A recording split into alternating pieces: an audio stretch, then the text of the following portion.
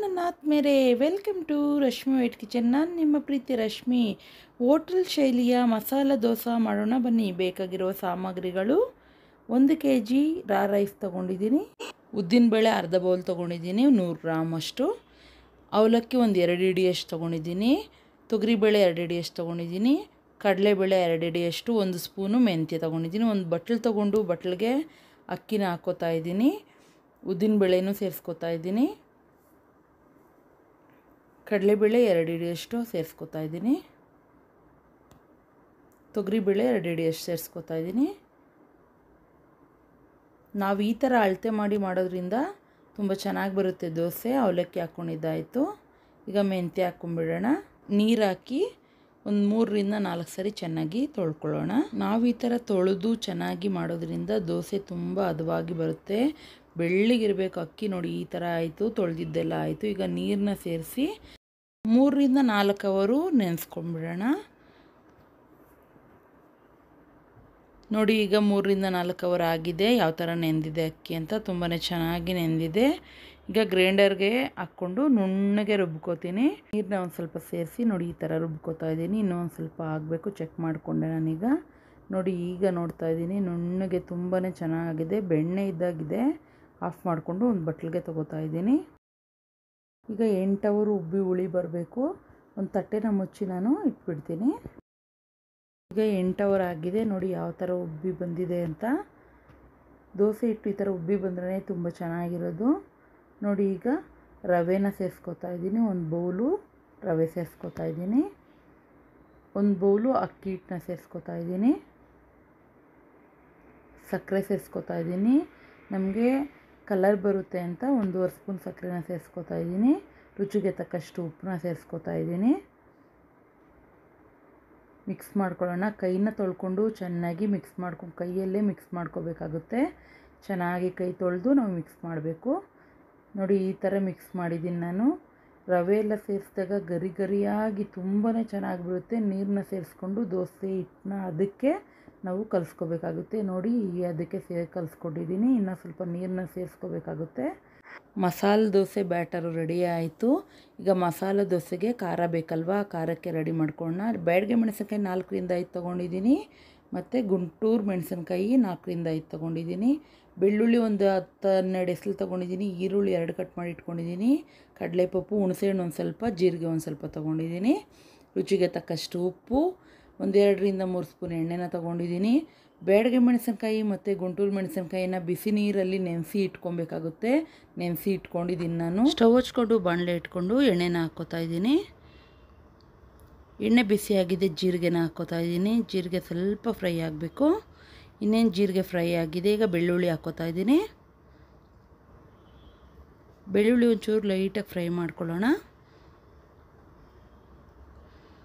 ಈಗ ಬಿಸಿ ನೀರಲ್ಲಿ ನೆನೆಸಿಟ್ಟಿದ್ವಲ್ಲ, ಮೆಣಸಿನ್ಕಾಯಿ, ಬಾಡಿಗೆ ಮೆಣಸಿನ್ಕಾಯಿ, ಖಾರದ್ದು ಮೆಣಸಿನ್ಕಾಯಿ ಎರಡೂ ನೀರೆಲ್ಲ ಸೋರಿಸಿ ಆಮೇಲೆ ಬಾಂಡ್ಲಿಗೆ ಹಾಕ್ಕೊಳ್ಳೋಣ ಬಾಂಡ್ಲಿಗೆ ಮೆಣಸಿನ್ಕಾಯಿ ಹಾಕಿದಾಗ ಸಿಡಿಯುತ್ತೆ, ಒಂಚೂರು ನೋಡ್ಕೊಳ್ಳಿ.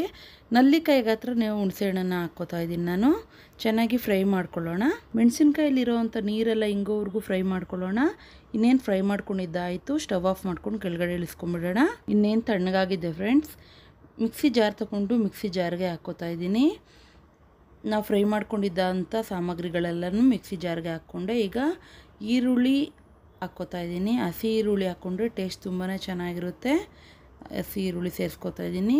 ಮತ್ತು ಕಡಲೆಪಪ್ಪು ಸೇರಿಸ್ಕೊತಾ ಇದ್ದೀನಿ. ಒಂದು ಎರಡು ಸ್ಪೂನ್ ಆಗಷ್ಟು ರುಚಿಗೆ ತಕ್ಕಷ್ಟು ಉಪ್ಪನ್ನ ಸೇರಿಸ್ಕೊಂಡು ರುಬ್ಕೊಂಬಂದ್ಬಿಡೋಣ ಈಗ. ನೋಡಿ, ಈ ಥರ ರಫಾಗಿ ರುಬ್ಕೊಂಡಿದ್ದೀನಿ. ಈಗ ಒಂದು ಎರಡು ಸ್ಪೂನ್ ಆಗಷ್ಟು ನೀರನ್ನ ಸೇರಿಸ್ಕೊತಾ ಇದ್ದೀನಿ. ನುಣ್ಣಗೆ ರುಬ್ಕೊಂಬರ್ಬೇಕು. ನೋಡಿ, ಈ ಥರ ರುಬ್ಕೊಂಬಂದಿದ್ದೀನಿ. ಜಾಸ್ತಿ ನೀರು ಸೇರಿಸೋದು ಬೇಡ. ನಾವು ಹದಿನೈದು ದಿನ ಇಟ್ಟರು ಚೆನ್ನಾಗಿರುತ್ತೆ. ಈಗ ಸ್ಟವ್ ಹಚ್ಕೊಂಡು ಮತ್ತೆ ಇನ್ನೊಂದು ಬಾಣಲೆ ಇಟ್ಕೋತಾ ಇದ್ದೀನಿ. ಇದು ಆಲೂಗಡ್ಡೆ ಪಲ್ಯ ಮಾಡ್ಕೊಳ್ಳೋದಕ್ಕೆ. ಈಗ ಎಣ್ಣೆ ಹಾಕ್ಕೋತಾ ಇದ್ದೀನಿ. ಎರಡರಿಂದ ಮೂರು ಸ್ಪೂನು ಎಣ್ಣೆನ ಸೇರಿಸ್ಕೊತಾ ಇದ್ದೀನಿ. ಇನ್ನೇನು ಎಣ್ಣೆ ಬಿಸಿಯಾಗಿದೆ ಒಂದು ಅರ್ಧ ಸ್ಪೂನ್ ಸಾಸಿವೆ ಸೇರಿಸ್ಕೊತಾ ಇದ್ದೀನಿ. ಇನ್ನೇನು ಸಾಸಿವೆ ಚಿಟ್ಲ್ತಾ ಇದೆ, ಕರಿಬೇವು ಹಾಕ್ಕೊತಾ ಇದ್ದೀನಿ. ಕಡಲೆಬೇಳೆ ಎರಡು ಸ್ಪೂನ್ನ ಸೇರಿಸ್ಕೊಂಡು ಫ್ರೈ ಮಾಡ್ಕೊತಾ ಇದ್ದೀನಿ. ಈಗ ಉದ್ದುದ್ದಕ್ಕೆ ಸಣ್ಣಕ್ಕೆ ಈರುಳ್ಳಿನ ಮೂರರಿಂದ ನಾಲ್ಕು ಕಟ್ ಮಾಡಿ ಇಟ್ಕೊಂಡಿದ್ದೆ ಹಾಕೋತಾ ಇದ್ದೀನಿ. ನಾನು ಒಂದು ಕೆ ಜಿ ಆಲೂಗಡ್ಡೆಗೆ ಮಾಡ್ತಾ ಇರೋಂಥ ಪಲ್ಯ ಆಗಿರೋದ್ರಿಂದ ಇಷ್ಟು ಸೇರಿಸ್ಕೊಂಡೆ ಹಸಿಮೆಣಸಿನ್ಕಾಯಿ ಉದ್ದುದ್ದಕ್ಕೆ ಒಂದು ಎಂಟರಿಂದ ಹತ್ತು ಸೀಳಿಟ್ಕೊಂಡಿದ್ದೆ ಹಾಕಿ ಮಿಕ್ಸ್ ಮಾಡ್ಕೊತಾ ಇದ್ದೀನಿ. ಈಗ ಫ್ರೈ ಆಗಬೇಕು ಚೆನ್ನಾಗಿ. ಈಗ ಒಂದು ಕಾಲು ಟೀ ಚಮಚ ಅರಶಿನ ಸೇರಿಸ್ಕೊತಾ ಇದ್ದೀನಿ. ಅರಶಿನ ಸೇರಿಸ್ಕೊಂಡು ಫ್ರೈ ಮಾಡ್ಕೊಳ್ಳೋಣ. ರುಚಿಗೆ ತಕ್ಕಷ್ಟು ಉಪ್ಪನ್ನ ಸೇರಿಸ್ಕೊಂಡು ಮಿಕ್ಸ್ ಮಾಡ್ಕೊತೀನಿ. ಈರುಳ್ಳಿ ತುಂಬ ಬೇಗನೆ ಬಾಡುತ್ತೆ ಉಪ್ಪನ್ನ ಸೇರಿಸಿದ್ರೆ. ಈಗ ಫ್ರೈ ಮಾಡ್ಕೊಳ್ಳೋಣ. ನಾವು ಒಂದು ಕೆ ಜಿ ಆಲೂಗಡ್ಡೆಗೆ ಮಾಡ್ತಾ ಇರೋಂಥ ಪಲ್ಯ, ಆಲೂಗಡ್ಡೆನ ಬೇಯಿಸಿ ಸಿಪ್ಪೆ ತೆಗೆದು ಇಟ್ಕೊಂಡಿದ್ದೀನಿ ನಾನು.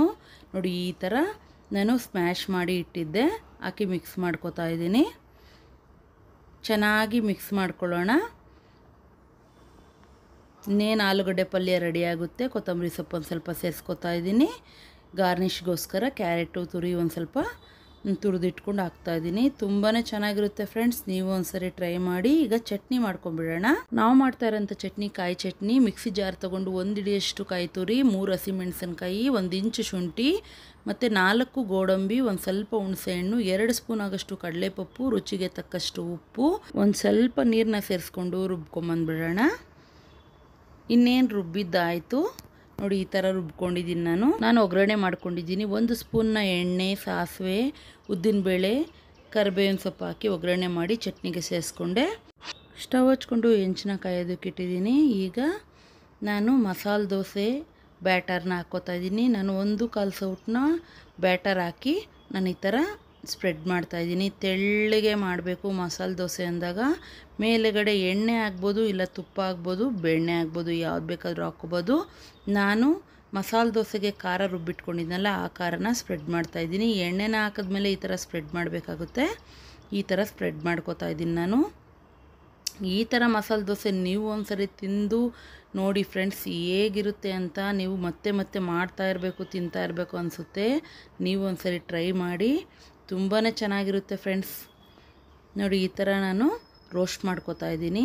ಮಸಾಲೆ ದೋಸೆ ಅಂದಮೇಲೆ ರೋಸ್ಟ್ ಮಾಡ್ಕೋಬೇಕು. ತುಂಬಾ ಚೆನ್ನಾಗಿರುತ್ತೆ. ಈಗ ಪಲ್ಯನ ಸೇರಿಸ್ಕೊತಾ ಇದ್ದೀನಿ. ಪಲ್ಯನ ಮಧ್ಯದಲ್ಲಿ ಇಟ್ಟು ನಾವು ನೋಡಿ ಯಾವ ಥರ ಇದೆ ಅಂತ ತುಂಬಾ ಚೆನ್ನಾಗಿದೆ. ಈ ಕಡೆಯಿಂದ ನಾವು ಒಂದು ಸೈಡನ್ನ ಮಡ್ಚ್ಕೊತಾ ಇದ್ದೀನಿ. ಮತ್ತು ಆ ಕಡೆಯಿಂದನೂ ಒಂದು ಸೈಡನ್ನ ಈ ಥರ ತ್ರಿಕೋನ ಶೇಪ್ ಮಾಡಿಕೊಂಡು ಮಸಾಲೆ ದೋಸೆ ಇನ್ನೇನು ರೆಡಿ ಆಯಿತು? ಗರಂ ಗರಂ ಮಸಾಲೆ ದೋಸೆ ತುಂಬಾ ಚೆನ್ನಾಗಿರುತ್ತೆ. ಮಸಾಲೆ ದೋಸೆ ರೆಡಿ ಆಯಿತು. ನಿಮಗೆ ಈ ರೆಸಿಪಿ ಇಷ್ಟ ಆಗಿದ್ದರೆ ಲೈಕ್ ಮಾಡಿ ಶೇರ್ ಮಾಡಿ ನನ್ನ ಚಾನಲ್ಗೆ ಸಬ್ಸ್ಕ್ರೈಬ್ ಮಾಡಿಕೊಂಡು ಸಪೋರ್ಟ್ ಮಾಡಿ. Thank you friends